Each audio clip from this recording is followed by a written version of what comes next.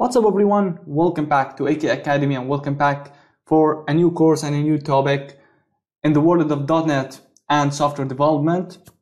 This time our topic is very very special and this this course is going to be awesome. It's about very trend topic. It is machine learning, but this time it's going to be very cool because it is with .NET, our favorite ecosystem and software development environment.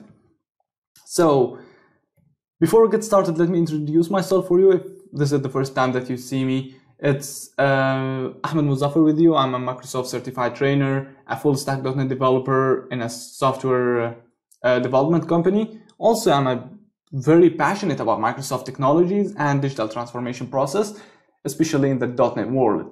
You can find me on Twitter and Facebook with at Ahmad Mozaffar99, and you can follow my uh, official website, ahmadmozaffar.net to see my latest blogs and uh, and other things you can find it out there.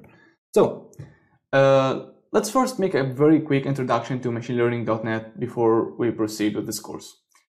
Uh, basically, machine learning.net is a framework or open source library uh, developed by Microsoft that allows .NET developers to prepare data, manipulate it, train the models, evaluate them, to create machine learning applications or models and also to consume it natively within your .NET applications. No need for any middleware, no need for any API to talk with some Python applications or whatever, or there is no need to create your own model with Python. You can directly go ahead within .NET, C Sharp, our favorite programming language, as you know.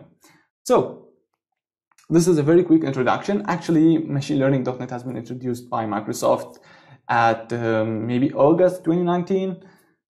It was out there before, but it was in the preview edition, not stable. But last year they made it the version one, which is stable, and right now it's in the production. And it allows you to do a lot of cool things. We will discover all of that uh, within this course. We will do and work deal with multiple problems in the world of machine learning and artificial intelligence from classification, regression, to predictive prices and other things. We will talk about multiple topics and multiple problems. We will start from scratch by describing the problem, see how we can prepare the data, train the model, evaluate it, then consume it, and we'll see how we can provide it to the end customer using ASP.NET Core and or Windows applications or whatever. We will take a look about all of those things. So in the next video, we'll start uh, or we will talk about in details what we are going to do in this course.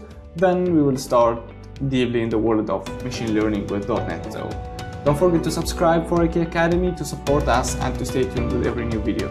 Thank you so much for watching and see you in the next one.